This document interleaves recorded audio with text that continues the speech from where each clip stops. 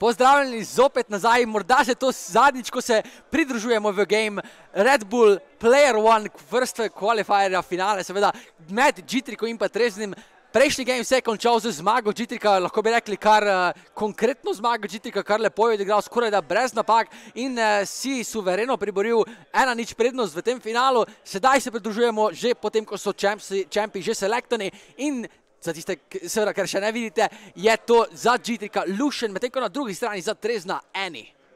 Eni pik, sama da smo kar pogledala malo debelo, ni placeholder, ni te, tu ni teh trikov s placeholder in podobnimi zadevami.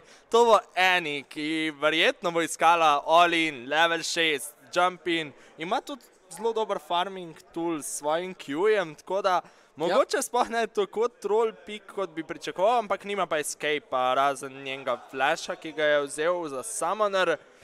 Tako da, ja. če bo G-Trick boljši v early levelih, se mi zdi, da bo kar kmalo končal ta fight, ampak vse je odvisno, kako dobro trezen. Težko je tudi napovedati, po mojem, neobičajen matchup je tole.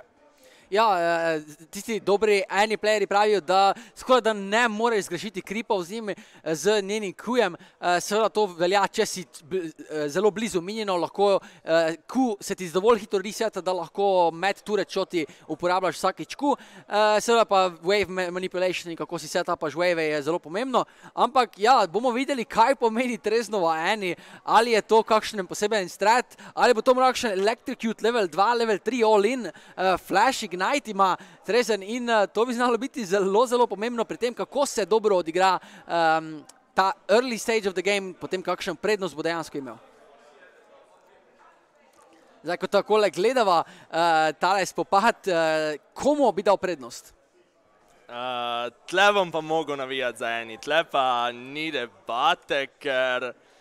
En je bila en mojih prvih čempov, ki sem ga malo več igral. Začel sem nekako z eni, ker je pač lahko za igrati za začetnika, ampak ob enem je ful zabavno level 6 eh, presenetiti nasprotnika in ga je preprosto biti.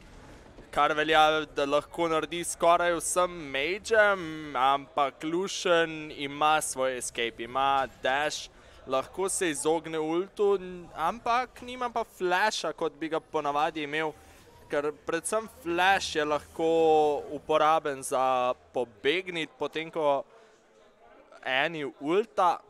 Ja, tukaj vidimo zelo zanimivo, trezen ima nullifying orb, ampak tisto, kar je bolj pomembno, je, da ga G-Trick nima. Torej, Nullifying Orb bi bil kar konkretno pomemben pri tem, da bi Treznov um, Olin lahko malenko zaustavil. Uh, videli bomo, kako bo G-Trick odigral tole, ali bo dovolj prešera dobil na njega early on, z kakšnimi auto-attacki, z, z hitrimi tradi, Q, E, dvojne v, uh, in pa hitro iz trada, tako da lahko dobi spravi Trezna dovolj lov, da ko gre Trezen za Olin, lahko ga G-Trick dejansko premaga. Ja, Trezen je tokrat po moje se pick and ban izšel po njega njegovih željah. Verjetno je pustil Lušana.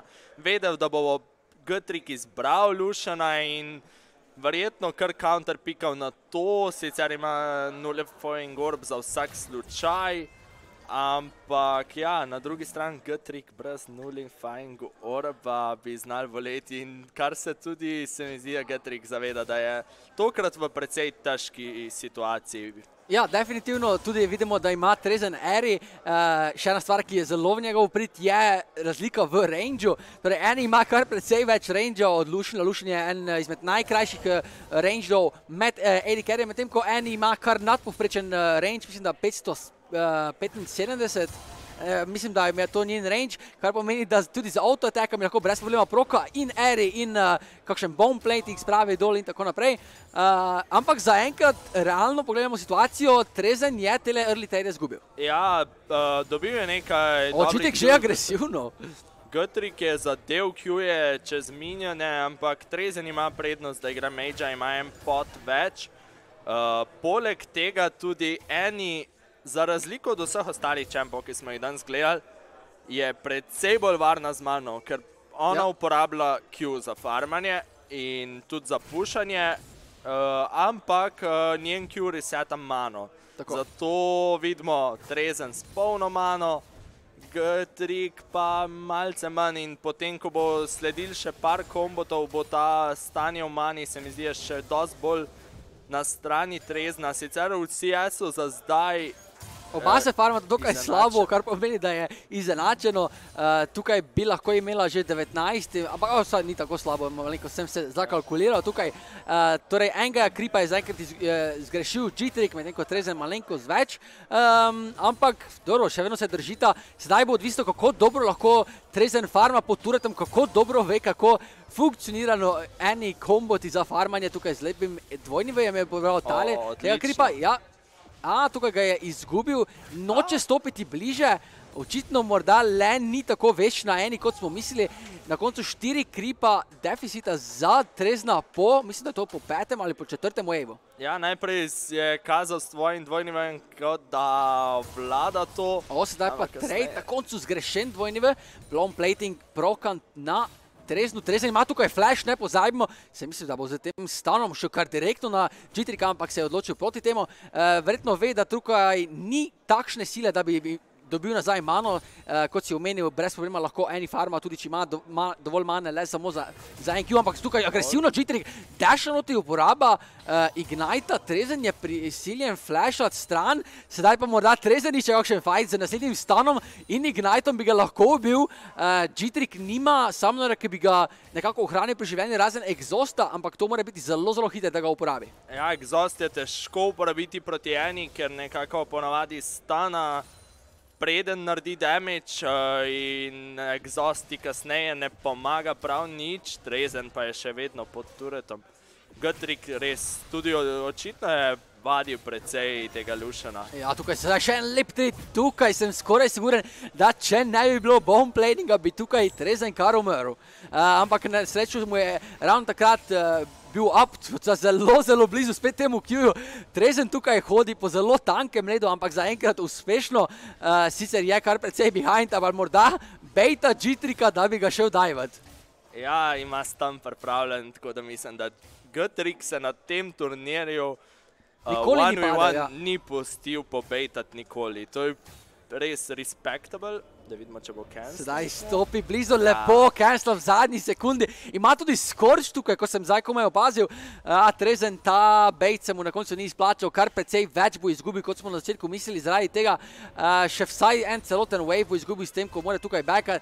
Žitek se to zaveda, 15 CS je up. A, Zopet v položaju, kot je toliko krat že bil v tem turnirju, da lahko enostavno počasi odigra tole igro in pripelje do zmage. Ja, nekako eni se kaže, da očitno vendarle ne morejo v farmi biti enako dobro kot Lušen, ampak ostane še Olim potencial. Ima level 6, ko, mislim, ko bo level 6 čez nekaj minionov. Ja, gledam ja. tudi njegov njen uh, flash uh, timing, čez približno 3 minute. Uh, Čez približno pa- 3 minute, zopet 6 waveov, kar je okoli 40 uh, CS-a, še ni konec igre, to je okoli 70-75 CS-a, uh, oziroma za GTK bi to bilo 85, ampak takrat je še vedno potencialni all-in. Trik je vprašanje, ali bo Trezen čakal na to. Gutrik Gutrik je je šest. 6, Trezen še ni, ampak postavljen. Ali je bo iskal tale all-in, ja, tudi sicer uh, lep stan na njega, ampak to ne bo dovolj damage, Trezen sedaj lep ult sredi GTK, ali bo to celo dovolj, da ga ubije tukaj, da lahko takoj konča tekmovanje, tako je, dame in gospodje, vaš zmagovalec Red Bull, Player One, ena vena turnirja, G-Trick za zmago na Treznom 2 proti nič. Na poti do zmage. Premagal je Applesa v polfinalu, spremljali smo ga, nekako kot da bi se nam zdelo, mislim, da smo ga gledali največ iger Ja. od vseh igralcev in to se je izkazalo za pravo izbiro, ker na koncu zmagal turnir precej suvereno, realno proti Trezna, pokazal, da je očitno midlanerji so vseeno glavni Ja. Očitno je ohranil, eh, ohranil ponos eh, midlanerjev. Trezna moramo pohvaliti, nismo ga pričakovali, eh, oziroma verjetno ga večino ne bi pričakovali direktno v finalu. Preboril se je do tja, ampak na koncu vseeno čestitke in pohvale Džitriku, suvereno ga je premagal, nikoli ni se zdelo, da je v težavah, nekako je konstantno imel vajeti igre v svojih rokah, ga premagal v CS-u, potem v Prešerju, ga dvakrat ubil, lepo odigran strani Džitrika, šolsko, odlično. Ja, G-Trik, to bo odlična popotnica za kasneje, kaj ti sledi polfinale proti Loses improve z uh, Gutrik svojo ekipo Zajče tačke, si želi sigurno še zmagati, uh, si želi zmagati danes. Sicer so bili drugi v skupini, zato so dobili uh, ravno ne zaželjeno nasprotnike Loses improve in to lahko precej poslabša njihovo pot do finala. Pridružil pa se nam bo zmagovalec. Intervju bomo dobili seveda Džitrika. Uh, Džitrika si boš nadel tele slušalke morda? Ne vem, bova tako. Malo da je vmes. Ja. Tak, okay. uh, Ja, tako. ja. No, Džitrik, kot zmagovalec ena vena turnira, prvega kvalifikacijskega turnira, kako se počutiš, ali si pričakoval tako suvereno zmago? Ne, mislim, da bo malo bolj natesno, ampak ja, mislim, upal sem, ne? Seveda, zelo lepo. Ali je to popotnica za nadaljni turnir za Epicenter, ali je to tako, kot si premagal Eposa, ali boš kar premagal Loses Improve? Ja, upam, da ja. Mislim, sicer je boljša popotnica za finalni 1v1 turnir, ampak Je, za vse tiste, ki ne veste, ta finalni one-on-one turnir nas bo čakal 12. maja na Ljubljanskem gradu in tam bo seveda Džitrik enim izmed glavnih favoritov, glede na to, da je suvereno odpravil vse druge in se pri nekako popeljal gladko do prvega mesta. Še enkrat čestitke tebi, Džitrik, kakšne zadnje besede? ne. Ne, nič zadnjih besed, hvala za to. Torej, eh, dame in gospodje, zmagovalec prvega turnira, Džitrik, eh, čestitke njemu. Mislim, da je to iz ena vena turnira zaenkrat vse. Ja. Um, kakšne zadnje besede? Uh, ja, spremljali smo zanimive boje, presenetili so nas nekateri trezen, sigurno odkritje, one ja. one, odkritje dneva. Nekako pričakujemo lahko mogoče še več od njega tudi na zaključenem one one turnirju, ki bo 12. maja na Ljubljanskem gradu. Ja, tako. Uh, Obenem pa bo Gutrik tam verjetno prvi favorit. Verjetno e, prvi ali- pa eden med največjih. Um, nekoliko, še enkrat bom omenil, ostali so mi dolžni vsi ti igralci, nobene Queen nisem videl, naslednji turnir, na- že čaka naslednji vikend, samo da vas spomnim na to. Torej, takrat lahko vidimo igralce, ki se niso kvalificirali. Kvalificiralo se je namreč top eh, 16 igralcev. Eh, Naslednji vikend, uh, isti čas, isti, isto, isti kraj, isti stream, uh, bo seveda drugi kvalifikacijski turnir, uh, kjer se bo drugih 16 igralcev uvrstilo uh, in takrat vsi tisti, ki danes niso se mogli ali pa niste imeli priložnosti igrati, se lahko še enkrat pomerite in poskušate uvrstiti na zaključni turnir. Do takrat se z, poslavljamo z Red Bull Player One qualifierji, ampak malo bomo nazaj. Uh,